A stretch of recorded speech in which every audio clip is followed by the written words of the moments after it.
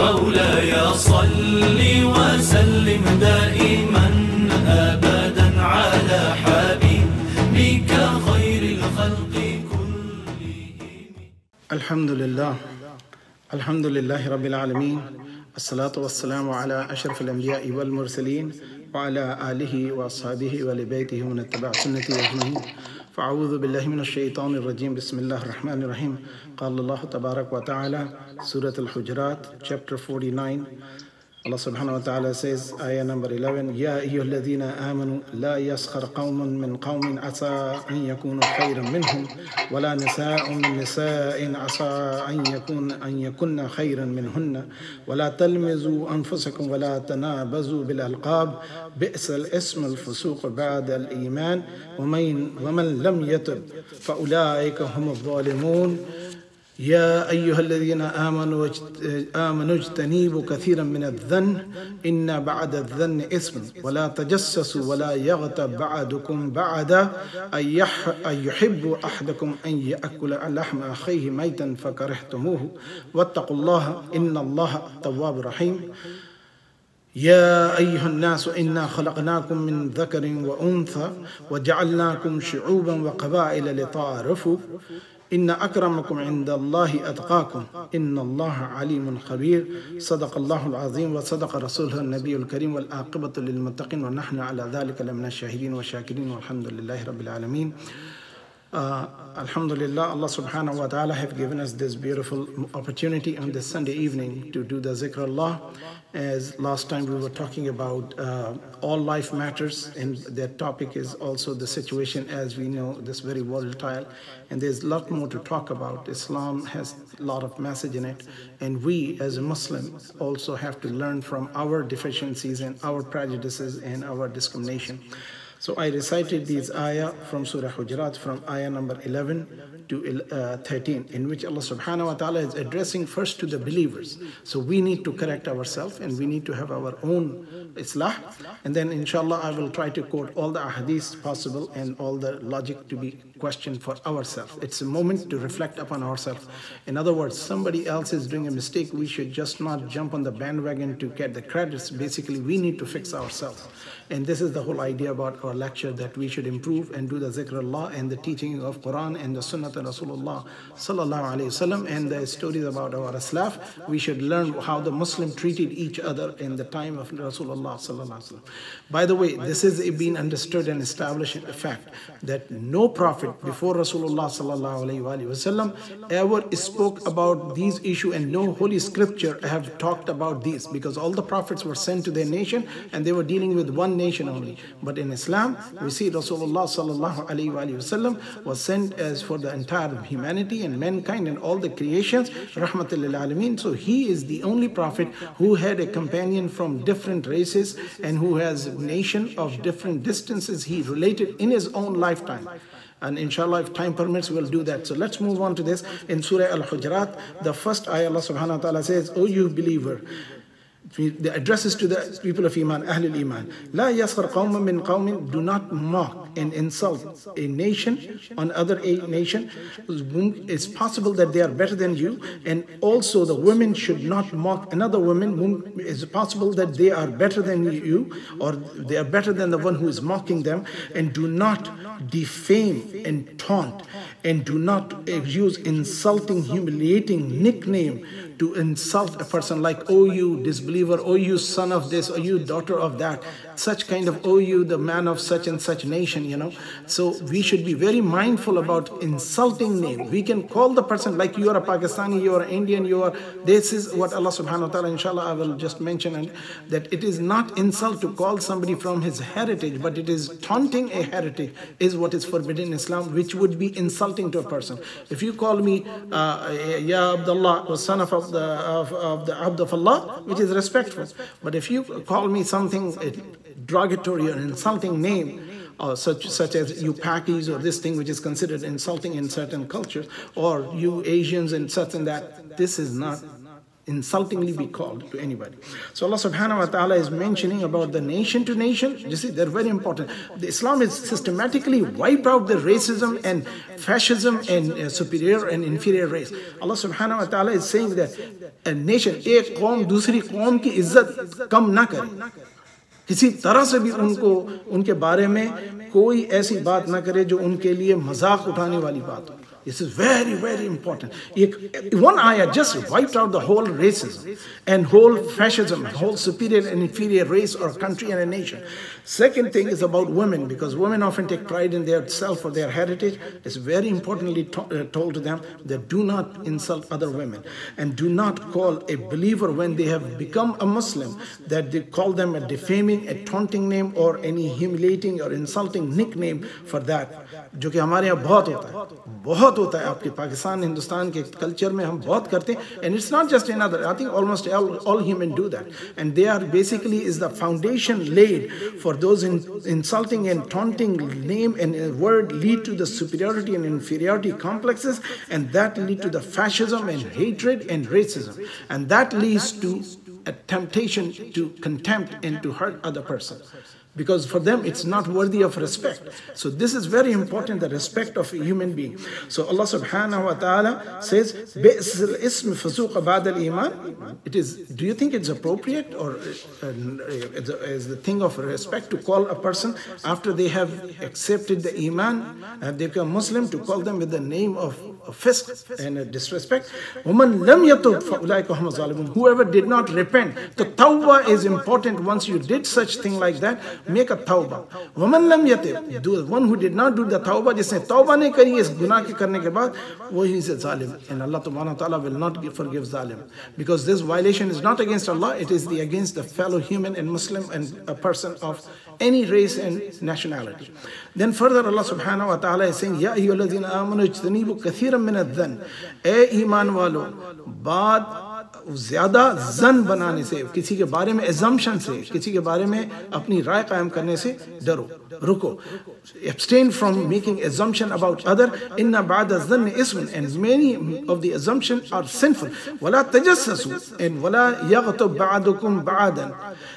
Do not be inquisitive and intruding into somebody else's matter. Do not be having a spying on others and do not backbite. That, oh, ji, falan to a great suspicion in the person's heart. When you talk, talk to the person, talk to the face, tell this brother that, listen, I'm a Muslim brother, I do not agree with your opinion and such and such. Let's have an open conversation. اب ایک بات میں آپ کو بتاؤں، ہم آپس میں مسلمان ایک دوسرے سے اتنے اختلاف میں ہیں کہ ایک دوسرے کی شکل دے کے نفرت کر لیتے ہیں، جبکہ دوسرے لوگوں کی شکل دے کر کے ہمیں اتنی نفرت نہیں آتی because we do not respect each other so much the another thing is that do not backbite when you backbite when you slander backbite and gossip there are three things backbiting is talking about a person behind his back gossiping is making a just rumor is spreading around. And uh, namima, namima is gossiping, and uh, uh, what you call the, uh, the gossiping and backbiting and slandering to slandering and that is one of the very important thing that we make accusation of a person which he does not have or done wrong so uh, Allah subhanahu wa ta'ala says after this ayah يحب أحدكم أن يأكل لحم أخيه فميتا فكرهتم would you love to eat the flesh of your dead brother Indeed, and surely you will be a verse, and a verse from there. وَاتَّقُوا inna Allah tawwabur rahim. And be conscious of Allah. Indeed, Allah is all repentful and merciful. So we should be very mindful of that. Then further Allah subhanahu wa ta'ala addressing now the conversation changed towards the mankind. Ya ayyuhan nas, O you mankind, inna khalaqnakum min dhakarin wa unsa. We indeed created you from a male and a female. وَجَعَلْنَاكُمْ And we created you among shu'uba in nations and the races, وقبائل and the tribes. Lita'arafu, so that you may know each other. Now, very important thing to understand. Shu'ub means any race, like Arab race and Ajam race. White race, African race, Asian race. These are the races which are mentioned and the nations.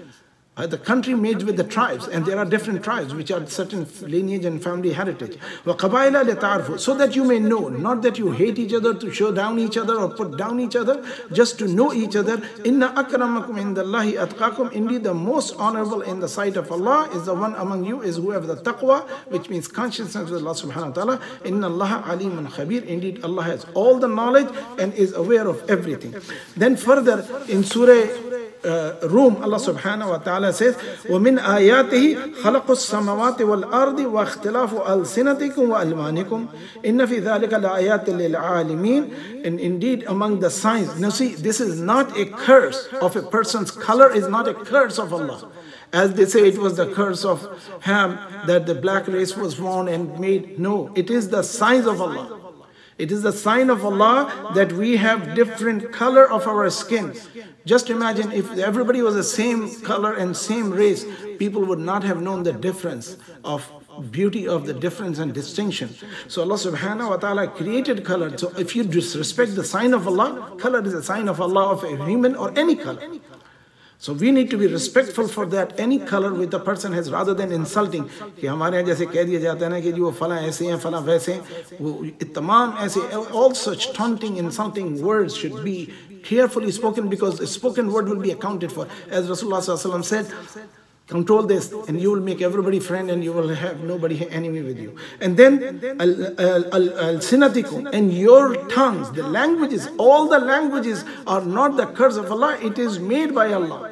So all the languages, all the people, the culture and languages are made by Allah subhanahu wa ta'ala. Inna fi dhalika alamin. In this there are signs for those of Allah subhanahu wa ta'ala, those who have the knowledge. So understanding this is the sign of Allah that we comprehend and we understand that.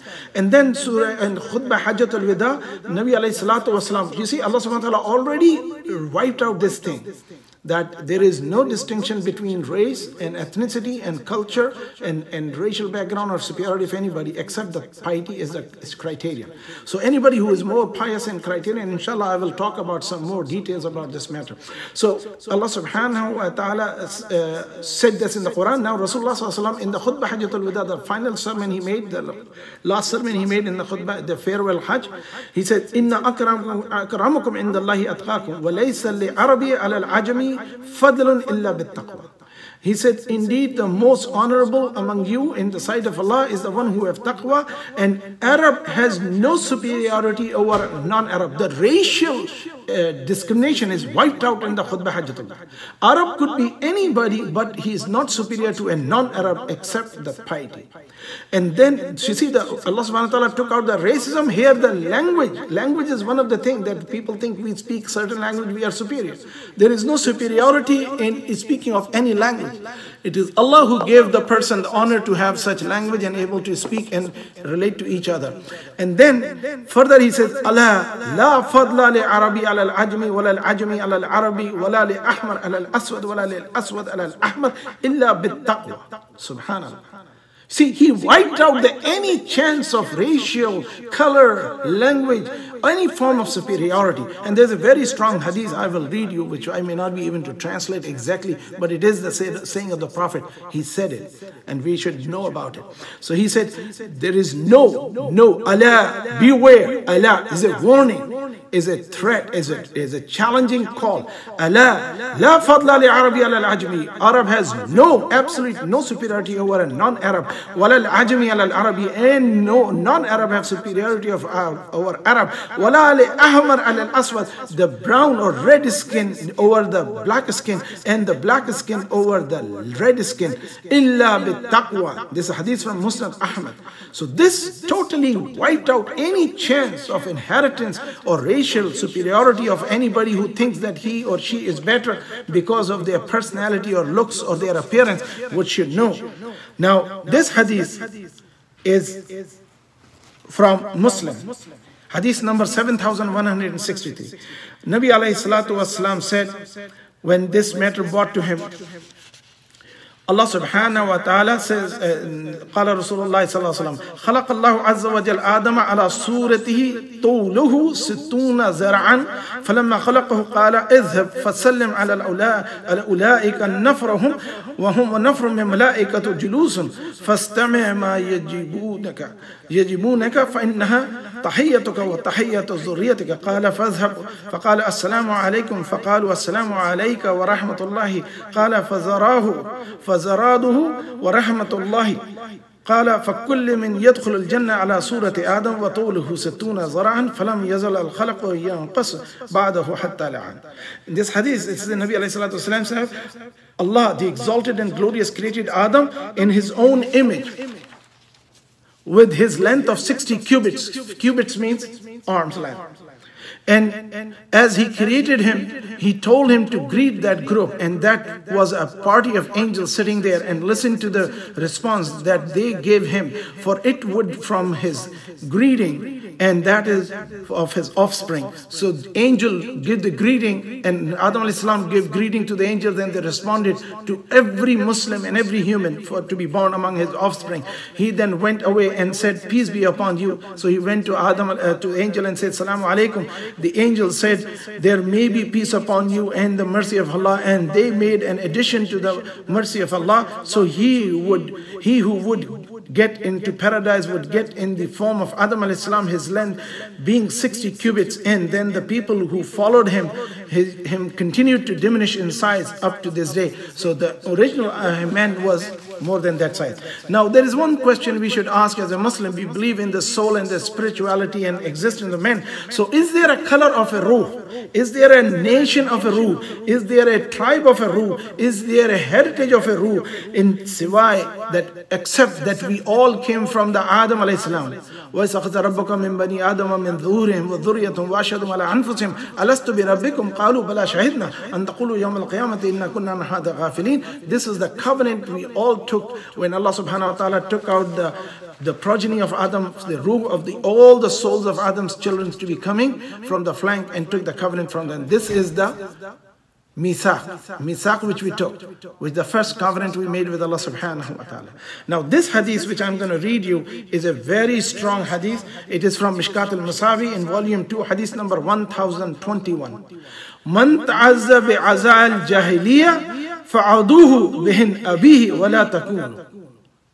I cannot translate it completely, but I'll translate you as that.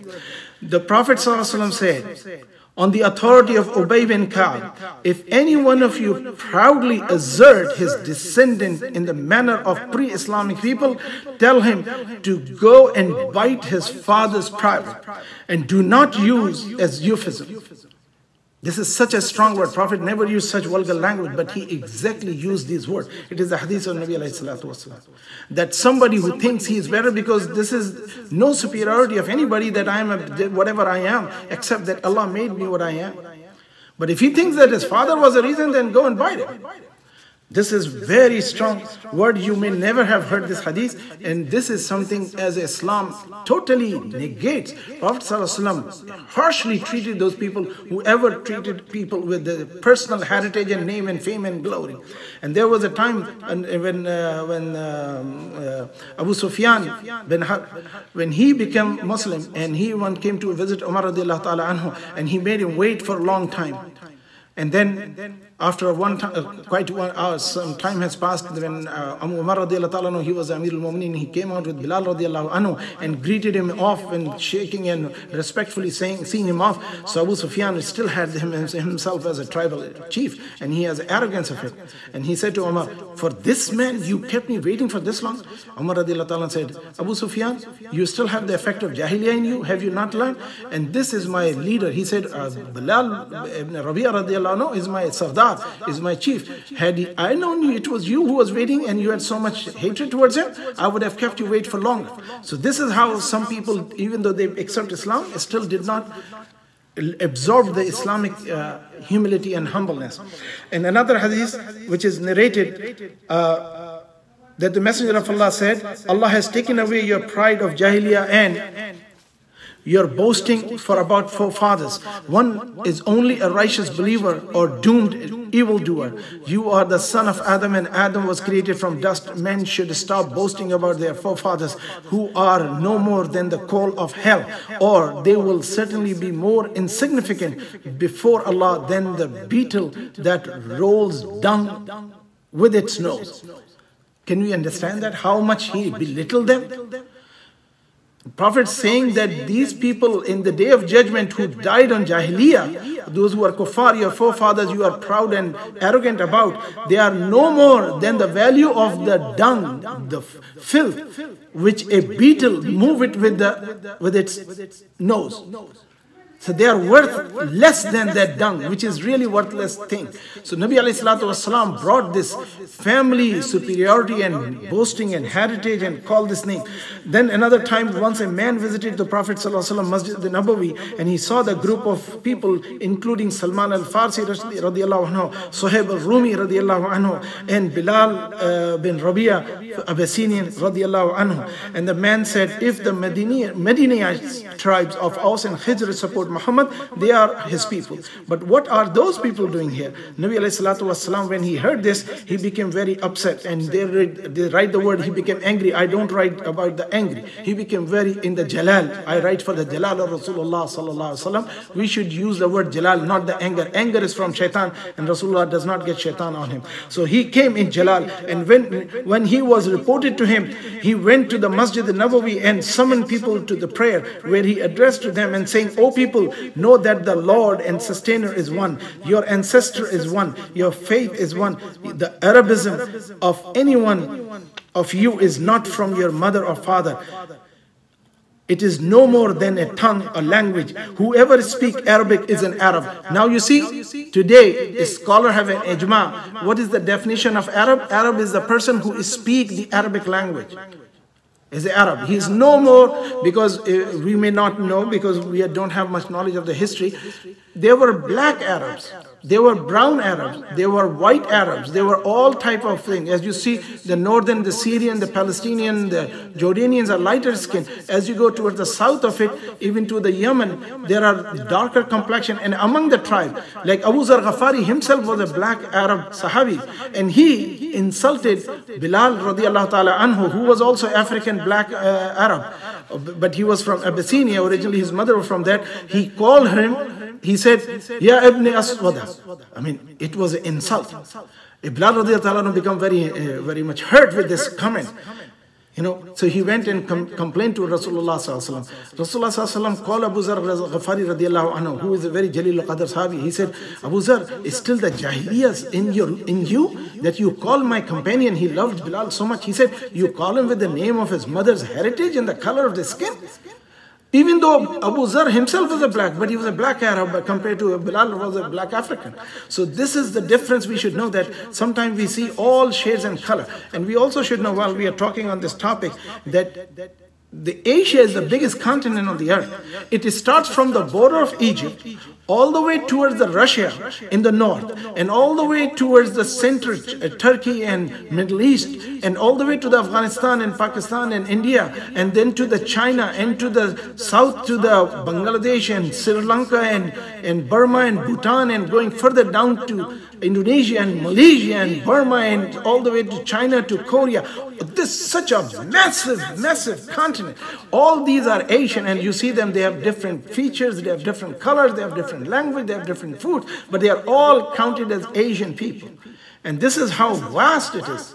And among them, there are all colors and all shades and all sizes and all cultures, likes and dislikes, and faith and all that. So, all humanity is part of one thing. So, we have to respect each other from that dignity of a person being children of Adam. And the ruh of Adam alayhi salam where Allah says nafaqtu fi ruh. Allah breathed that ruh into the Adam. So we all have a, this honor of us to be in that connection. So then there is a hadith Nabi alayhi salatu wasalam teaches whoever has arrogance in his heart equal to an atom weight shall not enter the paradise. A man inquired about the person who liked to wear beautiful clothes and fine shoes. He said God is beautiful and love it Allahu yuhibbul yuhibbul jamal. This is the hadith of Nabi. And explain pride as rejecting the truth because of the self-esteem and, taking, and looking down on other people. Hadith number 65 from Muslim. That one should dress good, look better, but should not look down upon other. That is not what is acceptable and uh, promoted by Rasulullah. So then a Sahabi came to Rasulullah very interesting in Bukhari hadith number 5305. So a, uh, a black man came to uh, a man came to Rasulullah and said, "A black child has been born from me for me." The Prophet asked him, "Have you got camels?" The man said, "Yes." The Prophet say, asked him, "What color are they?" The man replied, "Red." The Prophet says, "Is there any gray or any anyone among them?" They replied, "Yes." The Prophet says, "Hence comes that. Where comes that?" He said, maybe it is because of the hereditary. The Prophet ﷺ said, maybe your latest son has the color because of the heredity. So a person may have a lighter skin and a darker skin child, and we know in Asian we have a lot of our children and brothers sisters who have a lighter color and darker color, and we should know this more than anybody that how much shade of colors we have in Asian. And this is what something that Probably the Sahabi was suspecting his wife that she might have gotten this child from somebody, otherwise, whatever reason. But we should see that this happened in our families, our children, mostly Asian. We see a lighter skinned child and a light, darker skinned child, and we love them all equally. So, this is what we should be loving and respectful. Another hadith, number 4762, in which uh, Nabi alayhi salatu was said, this is the Sahabi narrated that he was in Hajjatul Wada of Nabi wasalam, and he was listening a lot of things Nabi wasalam said. Then he said that one thing, uh, Yahya bin Hussein, this is the Sahabi who's narrating. I maimed, uh, uh if Nabi wasalam said, I heard him, if a maimed slave is appointed a commander over you, the narrator says, I think he said black slave, who leads you according to the book of Allah, then listen to him and obey him.